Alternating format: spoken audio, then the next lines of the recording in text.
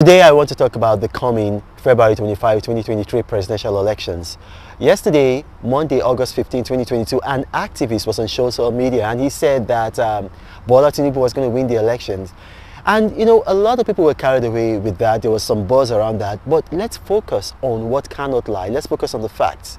If you look at the facts now, what are the facts? The voter registration numbers. Yes, the Southwest has done better than all, all other zones in um, the CVL continuous voter registration. As a matter of fact, Lagos has overtaken Kano as the single largest concentrator of votes.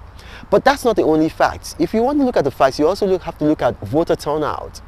The highest voter turnout in Nigeria from the 2019 presidential elections were from the Northwest.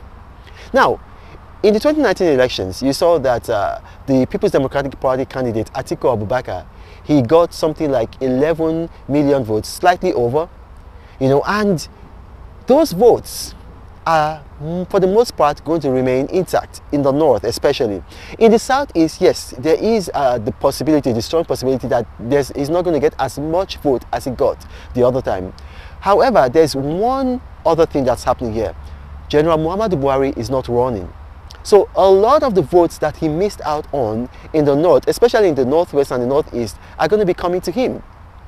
The running mate of uh, Bola Tinubu, the presidential candidate of the APC, is from the northeast. He's from, uh, will I say, uh, uh, uh, almost a majority tribe in the northeast. He's Kanuri. Now, there are tribal factors at play. There shouldn't be, but there are tribal factors at play in the north. You know, this gentleman cannot, you know, get out the votes the way Muhammad Buhari can. He doesn't have the spread in the north.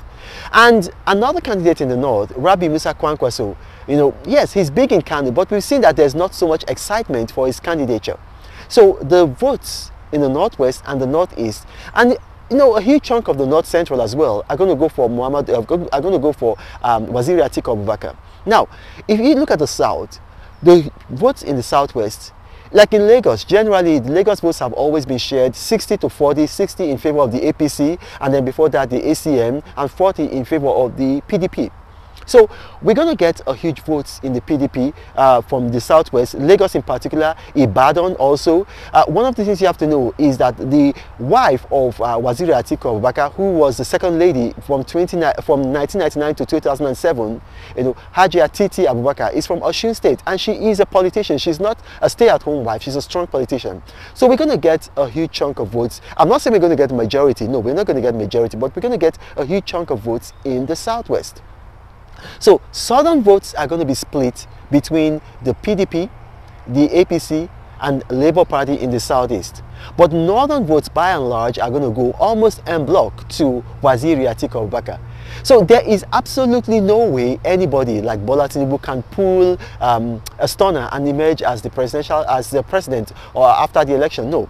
You know, it's going to be, if you look at the numbers, you know, yes, Lagos has uh, the, the largest concentration of votes, but how many people in Lagos come out to vote? How many people? You know, uh, if you look at the last election, the, and the voter turnout in the southwest was about, I think it was about 2.8 percent. You know, in the Northwest, the voter turnout was something like 3 point, I think it was 3.6%. So we're seeing that a lot of people, a lot more people come out to vote in the Northwest. The lowest voter turnout was in the Southeast. And then this time around, it looks to be even worse because of the shenanigans being pulled by IPOB, uh, ESN, Ebube Agu, and a num number of other people. For instance, in the Southeast today, you can't even do a lot of things on Monday because it's a sit at home. So I see this election comfortably being won by Waziri Atiku Abubakar. You know, and I'm not doing this because of bias or because of anything. I'm looking at the facts. Voter numbers. When you talk about votes, you talk about Lagos, you talk about Kano, Jigawa, Sokoto, Kaduna, Katsina. Those are where the votes are going to come from. Other than Lagos, all these other places I've called, Kano, Jigawa, Katsina, Kaduna, Sokoto, are going to go for Waziri Atiku Abubakar. Those are the facts. Thank you for watching and God bless you.